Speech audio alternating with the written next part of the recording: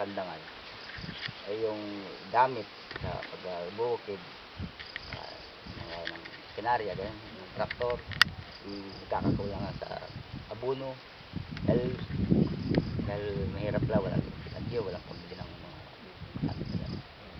Ano pong ginagawa nyo kapag, halimbawa, walang pera, tapos kailangan yung magtanim? Nanghihiram lang kami sa, sa bayan mga porsintuhan ganun Magkano po yun? Pag, ano, per sako po ba yung hinihingi? hindi perang no, ano, Ah, pera ho. pera.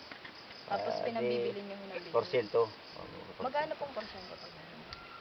yan magkano ba ang kuha natin ng pagbibili Ay, isang buwan pa po yun, buwan-buwan. Hindi 5-6. Ah, 5-6 ba anong sistema niya? 10%. 10% din. 10%. para makabili lang ganun, ng mga si- pang uh, ngailangan sa bukid halimbawa uh, Pagkaan yung fertilizer Crudo. uh, crudo Utang po yun lahat. utang namin dahil wala naman Makati, ano ng pag bagyo walang pera, nasaan si Bombay? Ah, 5-6.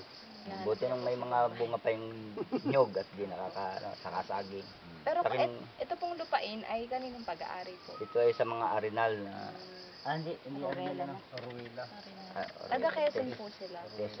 Yes. So lumalabas po na nakikisa, parang nakikisaka po yun. okay isa ka lang Tenant po ka- kayo. Pag-alaga. pag-alaga Ah, Kasama. pa- yung inaanin ba po, yung naanin nyo ng lu- ah, mga binhi, ah, palay, ay paano, may hati po may ba hatian sila yun doon? Ah, dito sa amin sa, sa Bukod Rizal dito Ano po yun? Rizal yung 20 balde dito sa lahat na ito 20 na balde ng palay po Oo, ang palay. dapat na ibabalik dapat ibibigay mo sa may-ari pagka ano.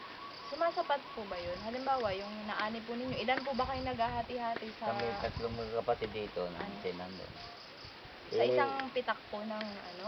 sa, sa lahat na sa lahat Ah, na sa lahat na po. Yun naman, makatalok sa hindi, merong ah, bibigay sila. bibigay Ah, kami may-ari. Doon sila talo pag hindi sila pag nag hindi kami nakatanim wala kaming bibigay yun nakalis na utang namin May utang pa po. Oo, utang. Hindi mag- nagkaka-negative po Yun nga, Oo, yun nga. Eh, Hindi naman ito, wala naman Kung itong patubig. tawagin ni Kintusan, Kintusa, no? kung anong yung iyo pinirmahan sa mayaman na halimbawa 20 balde ang kanila ay pag Obligado ka magbigay doon. Tuloy yun. magbigay. Sa sunod 40 balde na yun. Wala kang tanim, sa may tanim ka, magbibigay. Pero tapos so gastos nyo lahat yun. Wala ko silang Oh, wala sila. Wala, wala silang kaba, paano sa, Sa kanila sa, sa, sa kanilang tatanggap sila ng Ang mabigat nga yan kaya nakapagtanim din ako sa ganyan. katusin. Basta ko sila kumbaga- i-obra lang. Sila ko, oo, ganun. Wala sila binibitawang pera, wala sila silang basta wala. Tapos kahit wala nga kayong naitanim, babayaran Babayaran rin mo sa sunod na pagtatanim mo.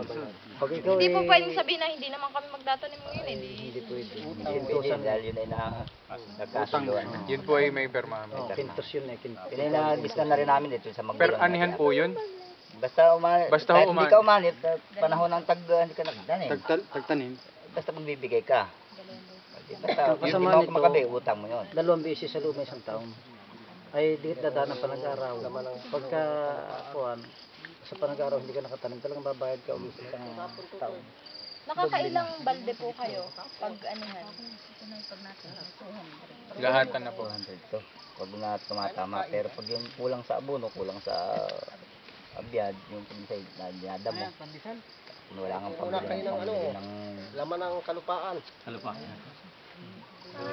Baling- Kamote.